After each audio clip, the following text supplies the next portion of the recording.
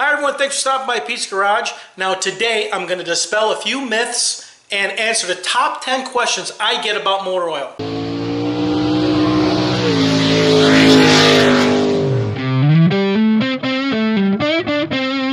For those of you who subscribe to my channel or for those of you who just stop by occasionally, you know that I build a lot of engines for people and send them all over the world. And questions come to me via email and text or phone call and people inevitably ask me questions about motor oil. Some of these questions go far beyond the average what grade should I use or should I use synthetic or traditional. Some of them are fairly in-depth and they're actually pretty good questions. First, let's talk about the basic function of oil in your engine. And it has basically three functions. First is lubrication. All those moving parts inside need to be lubricated.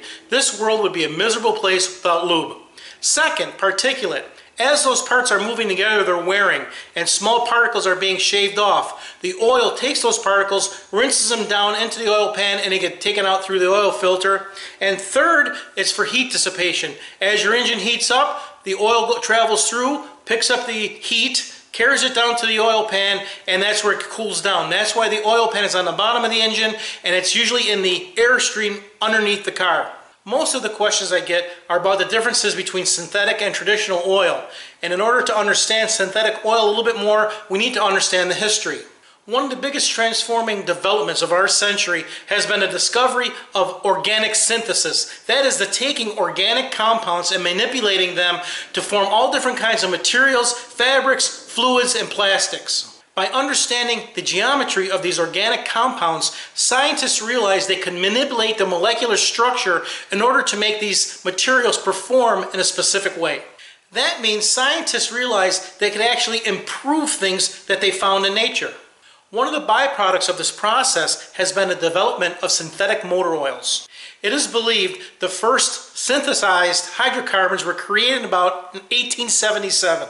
Now it wasn't until about 1929 when the commercial development of synthesized hydrocarbons was undertaken by Standard Oil of Indiana. Now in 1929, there was not a huge market for synthetic oils, and it wasn't until about eight years later when the first PAO was created. PAO is a synthetic product using olefin polymerization as a main ingredient in synthetic lubricants. Now something else happened that also spurred the development of synthetic oils. You got it, World War II.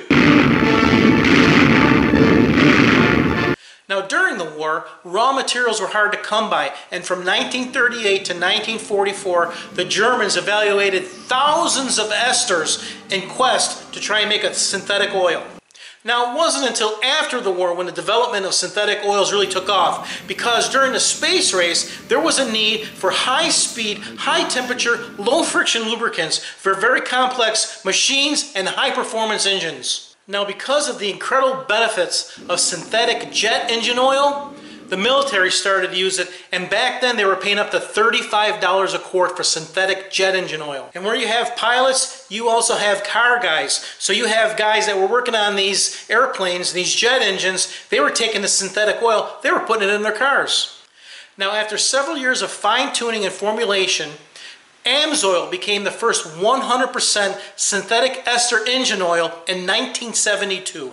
Now, as consumers became more and more aware of the benefits of synthetic oil, companies started to develop more products. And by the mid 90s, every company had a synthetic oil in its product line. Now, since conventional motor oils are not as heat stable, the benefits of a synthetic oil are fairly obvious. Synthetic oil has fewer impurities. It can often go between 10 and 15,000 miles between oil changes. It has a uniform molecular size, so it has less friction.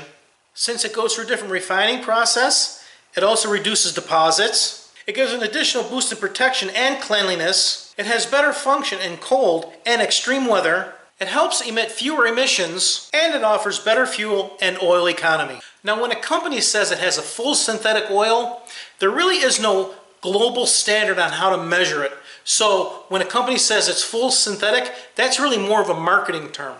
Then we have synthetic blend oils. These oils are less refined than full synthetic. Compared to a traditional oil, they are more technologically advanced. Since they do have traditional oil in it, they do have more impurities and an inconsistent molecular structure. So when you talk about a synthetic blend, it's more of a cost versus benefit kind of thing. Now I say this in every one of my videos, regardless if I'm talking about paint, oils, lubricants, always look in the owner's manual and use what the manufacturer recommends. And according to the manual right here, it says use a full synthetic engine oil that conforms to Dexos 1 specifications or Dexos 1 standards. Now if it doesn't require synthetic oil, you want to make sure you get an SAE certified oil. For conventional oil, you turn your oil around and right there on the back you see the SAE logo. That means it's an SAE grade or certified oil to meet that standard. Now you really have to check because this Penn Grade SAE 10W40 oil, it's a partial synthetic oil, but it's made for high performance engines. It doesn't have the SAE logo on the back because it has zinc and phosphorus in it for high performance engines. Now that all leads to the first question that I get asked most often. Can I use synthetic oil? And I say, go check the owner's manual to make sure you're using what the manufacturer recommends. The second question is, I'm currently running a conventional motor oil. Can I switch to synthetic? And the answer is yes. Since synthetic is a higher performance oil, you can switch into synthetic oil anytime you want, which comes to our first myth. The first myth is once you change to synthetic oil, you can change back.